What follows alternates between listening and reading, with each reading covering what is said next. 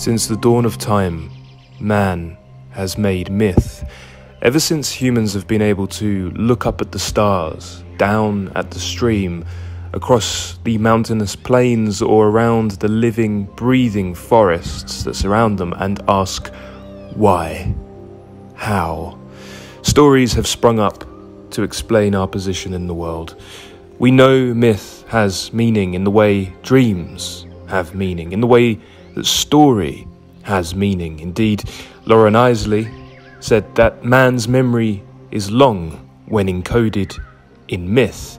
Myth has meaning, narrative, and story harbour meaning. Joseph Campbell, whose Hero with a Thousand Faces is the textbook to this lecture series, said the myths are public dreams, and dreams are private myths. The stories we tell ourselves and others are significant. They hold the keys of how best to live, and they usually start with a call to adventure, followed by a great journey full of trials and tribulations. In the process of slaying dragons, battling armies, cutting oneself out from the belly of a whale, and saving the princess, a hero is forged. But how can we be the hero of our own lives? What quest can we undertake? What treasure can we find? What do we truly seek? Let's start by asking what it really means to go on a journey.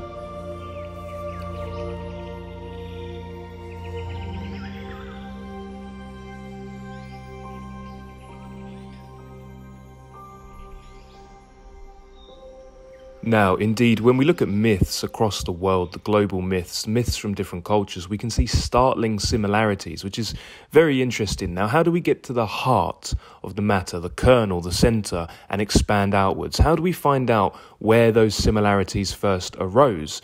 Where do we even begin? Are myths collective unconscious and universal imagination, or are they Chinese whispers? I often begin by looking at etymology. If you want to look at how something entered the common imagination, we can look at the words that we use every day. We do not examine our language near, anywhere near close enough. Its meaning is embedded in language, the history of a word, etymology. It's the DNA of language. And what you'll find very often is when you look up the etymology of these words that we use commonly, that we use every day, that we think we know the meaning of, that we use in debates and then get angry because we don't think the other person, the opposition, agrees with us or not. These huge words that are signifiers of the human condition war, peace, love, jealousy, anger. We can go on and on. Any word that you've used frequently over the last few weeks, maybe the last few months, note it down and search out where it originated from. Search out what language it originated from. Search out what meanings are now obsolete, are now archaic. We still possess the meaning of those words without even really realizing it. So when we talk about going on a journey, of course, we often use journey as a metaphor, an extended metaphor. If you go and read the old sermons of John, John Donne, if you go read his sermons, you'll see that he employs extended metaphors that are really compelling. One extended metaphor that he favours, and indeed all the great poets favour, is the extended metaphor of a journey. If you're trying to sell yourself in any situation, university entrance, job interviews, indeed, just persuading anybody for any reason. If you want to be compelling, you start by talking about a journey that you have undertaken, a journey you're about to embark upon, or a journey that you have embarked upon and what you've learned. Journey is wrapped up in story, and story is compelling. If you want to persuade somebody, tell them a story with a beginning, a middle, and an end, and conflict. Lots and lots of conflict. What's conflict? You want something and something standing in your way. There's an obstacle.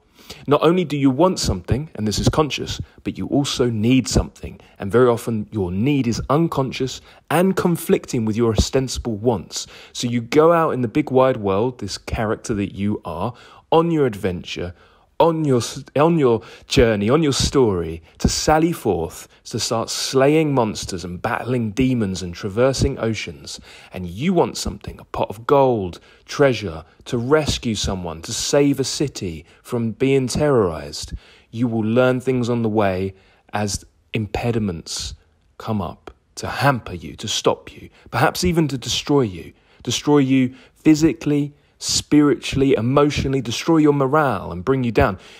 Growth is painful. Spiritual growth is extremely painful. If you are hurting, if you are suffering right now, you might be in a growth period. Few people think of it like that.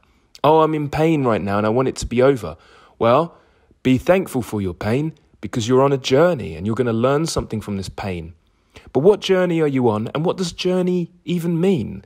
If we look at the etymology of journey, it goes back to the Old French, journée, from the 12th century. Um, and it essentially comes from the French, the Old French meaning. Uh, it does mean travel, but it also means day and it means a day's space or a day's travel. It can mean work and employment as well. If you go back to the Italian and the Latin uh, and um, you know the medieval Old French, it has that sense of a day embedded within it. It's now obsolete, but it's all about a day's travel. And indeed, from the 13th century it was known as an ordinary day's travel, the distance usually travelled in a day, and that measure of distance was usually estimated to be about 20 miles. Think about that 20 miles. We can all do 20 miles. We're herd animals. We're, we're designed to traverse great plains at great length. We would actually, we, the, the way we would get food, evolutionarily speaking, was we would just outlast the animals. Of course, there are animals that were faster than us, stronger than us, but we can just go and go and go for days. We can walk for days. Think about a marathon. Yeah, a good time for completing a marathon is about three hours. Um, a day's journey. So when we talk about a journey, you should think about it in terms of what Dale Carnegie referred to as day tight compartments. Don't worry about tomorrow. There's a Jesus parable in there, and we're obviously going to get into Jesus. Um, there's a Jesus parable in there. Let tomorrow take care of itself. Just worry about today. Journeys can seem insurmountable. The quest can seem too big for us. People procrastinate on their dreams, they procrastinate on their mission, their personal mission, embarking upon something that's greater than them, that's going to be rewarding to them, that's ultimately going to help their surrounding community because it seems too big. And of course, it seems too big. When we look at these great big books about quests, Chaucer's Canterbury Tales, if we look at Don Quixote, they're very big, aren't they? They're big, thick books. And that's for a reason because there's many adventures. Maybe many perilsome adventures take place in these these books about quests and journeys and travels. And if we had to do the whole quest in one gulp right off the bat. Of course, nobody would, would ever embark upon a quest because nobody could ever complete it successfully. You would ruin yourself even embarking upon it or attempting to. It would be impossible. But quests are built up on the small unit of days, day tight compartments, day by day. And if days seem insurmountable to you, if one day as a unit is too long, you can then subdivide it down into hours and segments of the day. Day by day, we journey across life. Time affords us the ability to look back over the past, over past completed quests, and see disparate events, often separated by years, strung really quite close together. If we look at uh, All the World's a Stage, it's the beginning of a monologue from William Shakespeare's As You Like It, spoken by Jacques. He said, all the world's a stage, and all the men and women merely players. They have their exits and their entrances, and one man in his time plays many parts, his acts being seven ages. At first, the infant, mewling and puking in the nurse's arms, then the whining schoolboy, with his satchel and shining morning face, creeping like snail unwillingly to school, and then the lover, sighing like a furnace, with a woeful ballad made to his mistress's eyebrow. You can go through the whole speech um, by yourself and read it aloud and enjoy it. And you can see Shakespeare divides the ages up. We have stages and epochs and seasons in our life. So, we're talking about day tight compartments, what can get achieved in a day, what we can do in a day that's going to feed into the whole, but maybe also some cognizance, some recognition of what season in our life we're in. Seasons, hey, it might be different for you. Seasons for me come in cycles of maybe three or four years. Be familiar with the season you, you find yourself situated in. And very often, seasons might look almost like the seasons of the natural world. You might be in your autumn, and then you might get a second spring. You might be in the summer. You might be in the winter. And what you do on a day to day basis, and what your personal mission is, what your long term personal mission is, what you hold dear, what you cherish, your personal values, and your vocation feeds into what you might do in that particular season in your life. And when we think about day tight compartments, we're going to return to this idea of Buddhism regularly. Because in Buddhism, there's this idea that the one contains the many and the many contains the one. Philosophical and poetic thinkers from all over the world, even those who would have had no knowledge of the Eastern texts, they couldn't possibly have had knowledge of the Eastern texts, are aware of this concept of the one containing the many and the many containing the one. One conversation with your partner contains the many. It makes up the fabric of your entire the entire landscape of your relationship with them. The same with your children, your parents, your friends, your business partners, your associates. What the one contains the many and the many contain the one. The food that you eat today in the here and now the one contains the many, and the many contain the one. Blake, if you read his Auguries of Innocence, he got, he got this. He said, To see the world in a grain of sand, and a heaven in a wild flower. Hold infinity in the palm of your hand, and eternity in an hour. One grain of sand contains all the beaches of the world. Its infinity in the palm of your hand, eternity in an hour. That's why we read Proust. He seems to be really slow, doesn't he? But time is all around you in Proust. And labouring over a segment of time contains all of time. And Proust is a journey in himself. Why do we read the great books? Why do we read poems like Childe Roland? Why are we reading Don Quixote, Siddhartha, what indeed what are they searching for? Proust reveals to us the truth eminent that it's the journey itself. The journey itself is instrumental. So when you embark upon a journey, you are not of course you're always you're always trying to progress to an end point. But there is no happiness there. There's no contentment there. And if there is, it's very short lived one must continually remind themselves to enjoy the stage of the journey that they're on. And we're going to see this in the hero with the thousand faces. There's a template that we're going to look into. Um, the first part of the hero's journey is the call to adventure. And this usually arises by virtue of a blunder or a Freudian slip. We'll look into this.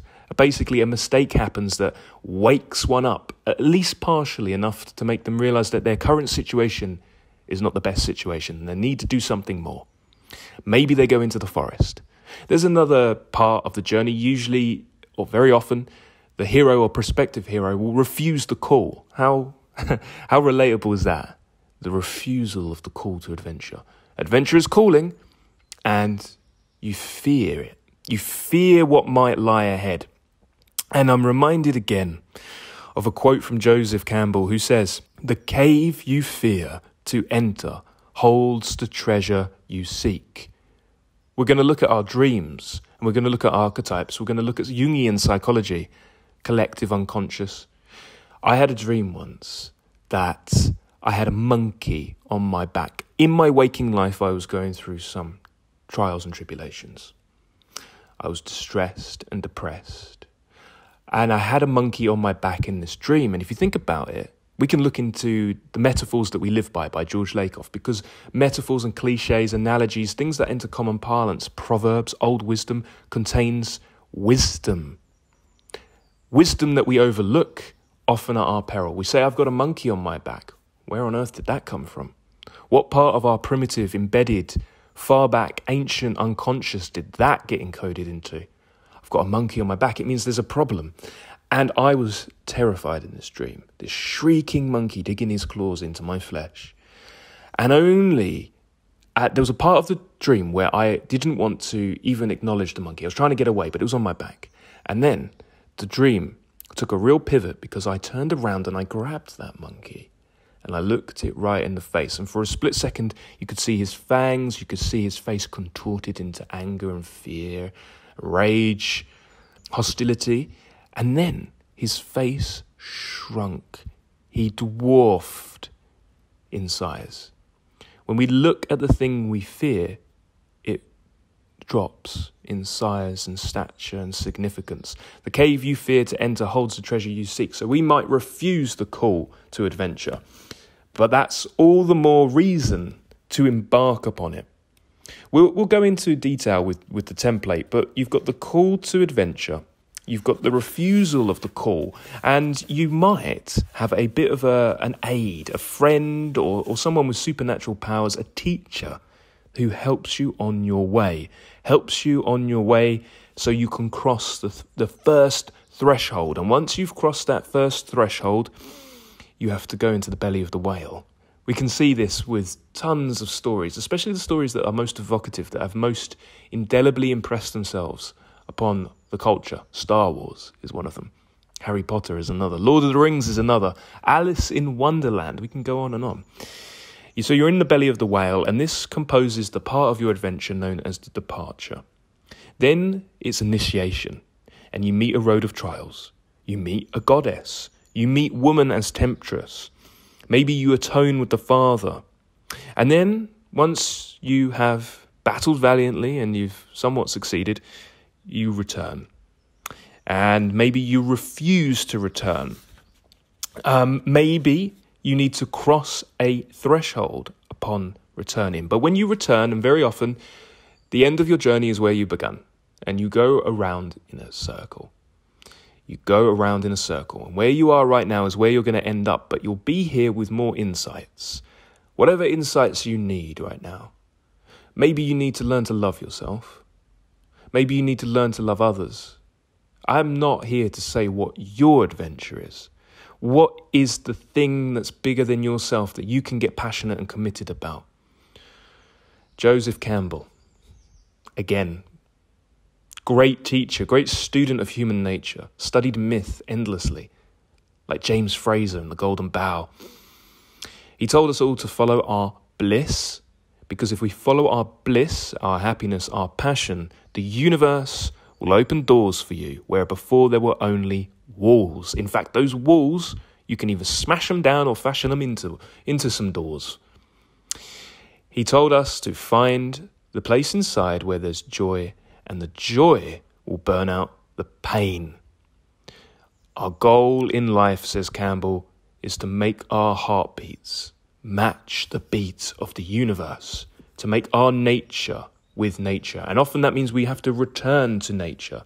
Friedrich Nietzsche, studying the ritualistic, choric elements of Greek plays. We're going to look into ritual because very often people mistake the metaphor for the meaning, mistake the allegory for what the allegory is actually trying to teach you. Myth is a great way to encode meaning and pass it down orally through the ages so that it's remembered. Unfortunately, the true meaning's not really remembered. The true meaning, if we look at it, if we take, for example, the dying and resurrection motif of pagan mythology, yeah, Jesus was died and resurrected, but we can look into that myth, we can look into his story and see the parallels, almost word for word parallels in regards to Dionysus, Adonis, Osiris, Attis. We can go on and on. These are fertility rituals and it's about praising the sun. We've lost that. We must praise and bless the sun and be grateful for it because every day it rises and every day it brings life to the crops. Primitive man would have respected the sun, but now we praise, or no longer because since Nietzsche's dictum, God is dead, we used to praise the Son of God in Christian cultures. But Nietzsche, talking about the ritualistic choric elements of Greek plays, said that there's an overwhelming feeling of unity that leads back to the heart of nature. This is the essence of Shakespearean comedy. You go into the forest, you escape the city. Maybe you go a bit mad, you get wooed in the wood. Maybe you get a bit frenzied, maybe you get a bit drunk, maybe you fall in love. Maybe you fall in love with an ass. Midsummer Night's Dream, fantastic play. Nature has healing properties. So, very often in these quest narratives, nature holds the key. Rivers and forests hold the key to meaning. That's where we can find our salvation in the in the stillness of nature. And as Frazer said, even the savage cannot fail to perceive how intimately his own life is bound up with the life of nature, and how the same processes which freeze the stream and strip the earth of vegetation menace him with extinction. So we erected rituals to convey meaning. Think about the rituals associated with water throughout all the dominant religions of the world. Why is it so soothing to get into water? The healing properties of water probably have less to do with the mineral content and more to do with the return to the womb, return to a lower frequency. A lower frequency of breathing and living is meditative. Why is water so entangled with this idea of transmutation? Look at the, look at the language of baptism. And look at language itself. Myth is language. What mythology does in a psychoanalytical sense is to give a language to universal desires. We can look into Freudian analysis. He thought that we sublimated our desire through dreams, through mythology, and through plays, plays like Hamlet. The language of mythology, dying and rebirth, and we'll talk about that because very often when we descend to a subterranean world, when we venture into Hades, hoping to return, when we die, and death is so entangled with sleep and meaning, pregnant with meaning, we descend into the cave, the subconscious cave, so that we can arise with insights. The language of these elements, dying and rebirth and so on, that it speaks to the common desire of man to progress and for the seasons of life to continue their cycle. Jung, writing in The Psychology of Rebirth, says that the mere fact that people talk about rebirth and that there is such a concept at all means that a store of psychic experiences designated by that term must actually exist. So let's embark upon this journey together our journey into myth, our journey into the great books. You've already embarked upon that one. You're already well into it. You've received the call to adventure and you've sallied forth. You've crossed the first threshold. We'll explain what all of this means and draw in ample examples from all the different myths and folk tales. You've done that, and you're probably right now in the belly of the beast. We're on a journey together we're definitely on a journey through the great books, but let me know what journey, what other journey are you on? What season in your life do you find yourself? What are you struggling with? What are you wrestling with? Where do you designate meaning? Because meaning is up to us to designate. That's where we find meaning. Very often, journeys, if we read books like Siddhartha by Hermann Hesse, the journey is to find meaning, to alleviate ourselves from suffering. Very often, in the Buddhist sense, to remove desire for anything. What journey are you on right now? What are you struggling with?